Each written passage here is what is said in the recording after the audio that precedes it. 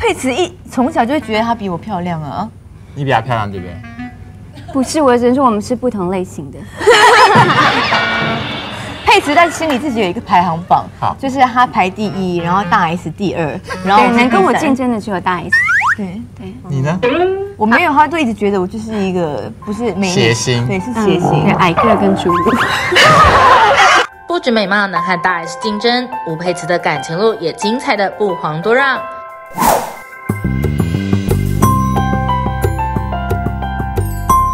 七一七七二十四七三十一七四二十八七五三十五七六四十二七七四九七八五十六七九六。吴佩慈近日替闺蜜小 S 宣传新歌《难得现身》。她二零一四年初替大陆富商男友纪晓波生了女儿后，年底就宣布全面退出演艺圈。两人至今育有四个小孩，吴佩慈却始终进不了豪门，仍是单亲妈妈，被不少网友嘲讽是生育机器。面对这一切，他怡然自得。但估计所有人都想知道，他现在这样真的甘愿吗？吴佩慈在你们学校的时候逼你们出风头吗？她那时候是转学生，然后我还记得佩慈一踏进教室，然后我跟我姐就立刻，呃，我姐就立刻说：“你快看，这女的还蛮正的，把她纳入我们旗下。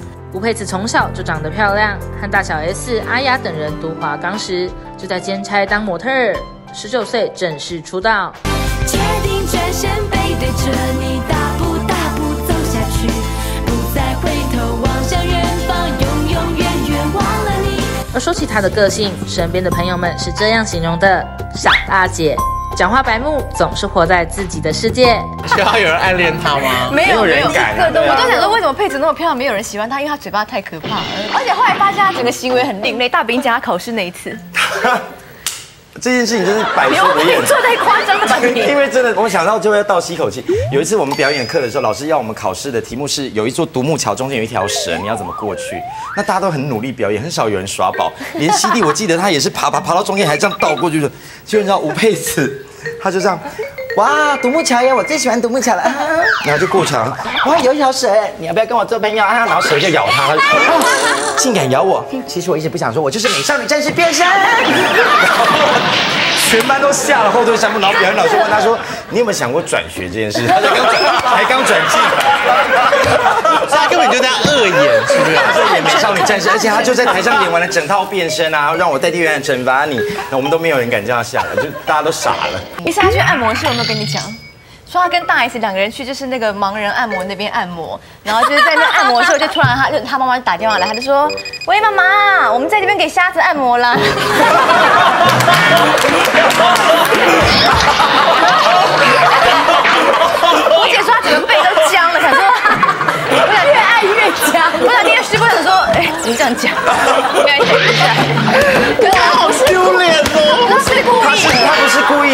就那样平。常就是这样子。然后我们的姐妹当中，竟然还有一个更白目的吴佩慈，她有一天竟然跟大姨说。啊我跟你讲，你这个皮肤哦，就是欧巴 day 啊！对啊，她还说，不是她在路上跟我大叫说，徐熙媛，我觉得你好可怜哦，你妈怎么把你生成欧巴 day 啊？然后我就瞪着她，就影响说，算了，忍住忍住。佩慈平常讲话就是比较白目，她就说，哦，像我一生出来就是白，我觉得生成欧巴 day 真的很可怜，我好怕我嫁错老公，生一个欧巴 day 小孩，就是个欧巴 day 跟欧巴 day 洗，然后我就这样子手就捏起来，然后我就好想把他推到马桶中间给吴佩慈很夸张，如果看舞台剧闷的话，他就会以为大家都没有听见，因为你知道他常常陷入一个自己的世界，他就会说：“徐弟，这舞台剧你也太难看了吧。”然后因为舞台剧，你想想它有多安静，对然后我就会说：“佩慈，佩慈，小声一点。”旁边的人都会听到，他说：“徐弟，你看他演的好烂。”然后我就一直一直掐自己，但是掐自己的同时，吴佩慈也会过来，就是一直掐你说：“好烂，我要走了，我要吐了。”不过这样的他却是公认的孝顺，连吴佩慈自己都说：“我没有什么优点，除了孝顺之外。”一静啊！我常常跟他们到，就是我们去玩，然后就坐下来，然后就立刻灌两杯，然后我就上自己乖乖上学校就坐坐电车回家。对，就姐妹才哦姐妹才刚集合完整，她就说：“我几点要回家？”而且就说走就走，绝对不会就是真的耶在那边好像赖着不走。拜托，我已经二十六岁，可不可以不要再那样？就是哦对，对，所以你讲出这个“拜托，我已经二十六的时候，你心里其实很害怕吗？很害怕，非常害怕。我真的是非常怕什么？你妈会罚你吗？不会，但是因为我可能就是不想她心情不好。很 care 家人。所以你如果说我已经二十六岁，然后你妈就哭了的话，你以后就再也不敢顶撞她了。她倒是不会哭了，但是她就是装作没听到，然后下次又一直夺命连环扣。我没有办法不接我妈电话，因为我妈会一直打。就不接啊，关机啊。我没那个他没有，他没有那种，我没有那个种，我不敢。贝斯竟然是这种，他是这种人啊！我跟你，你跟他聊天聊起来，你会觉得怎么可能啊？好孬哦。披着狼皮的羊，就是啊，平时在外面不是很嚣张吗？这位披着狼皮的羊会被这么保护，全因为她也算是个富贵小公主，家境优渥，十七岁的生日礼物就拿到 Prada 包包，连上个康熙都不得了。以珠宝来看，吴佩慈比较厉害吗？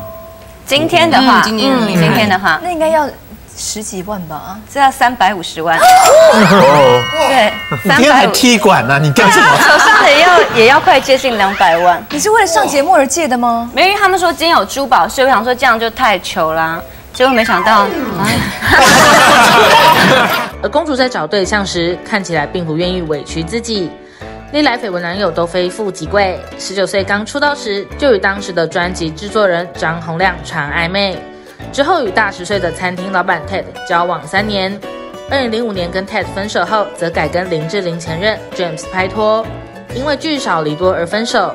沙龙帕斯小开所以呢，怎么样？正在交往吗？哎，他家真的是卖沙龙帕斯的吗？哇哎，我拜托放过我，为什么？为什么要放过你？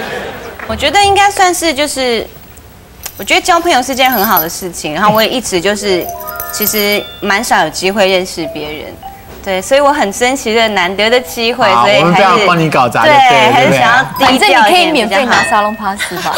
没有，我跟你讲，要多少有多少，真的。真的吗？真的啊。好，很好。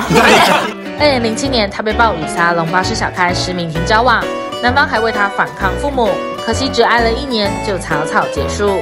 那个吴佩慈最近的绯闻也是跟你们报告过的，报告过，碰过很多次面。嗯，所以那一位先生真的送她很贵的钻石哦，我到现在还没收到，先订的还没收到，对，所以还没有机你。说钻石什么？就生日礼物，就表，哦钻表。对，我不知道这件事哎。因为我还没收到，收到再把它拿给大家看。他为什么知道而我不知道？因为记者写的，有人问我说生你根本不日收到什么关心吴佩慈的新闻啊！记者都知道，你竟然没跟我讲。好，我走好了。二零零八年，吴佩慈与飞机上相识的马来西亚富商 Peter Chen 交往。他是保利博纳和海蝶唱片两大公司的海外投资商，身家至少超过亿元人民币。吴佩慈曾一度宣告他是理想的结婚对象，然而相恋四年后，传出她因为隐瞒与男演员合拍大尺度戏份，让男友气到与她分手。我这辈子好像没做过什么疯狂的事。吴佩慈接下来的人生对许多人来说，或许就有点疯狂了。二零一三年，她承认自己怀了纪晓波的孩子。纪晓波是大陆人，在香港、澳门白手起家，同时投资矿业、环保事业和房地产等，坐拥百亿台币资产。知道女友怀孕后，纪晓波也到台湾见过女方家人，并送上十点六克拉的钻戒。当时吴佩慈甜蜜的对外表示：“我怀的应该是女儿。”不过男友说：“我们家只会有一个公主，那就是我。”更强调会等到完全瘦身后，可以塞得下漂亮婚纱，我才要嫁。未婚生子不是我会走的路。之后六年间，她不停的怀孕生子，最终生了两男两女。而她只要每生一个，网友总是会问：纪晓波肯娶你了吗？反观纪晓波则是绯闻不断，似乎不把吴佩慈放在心里。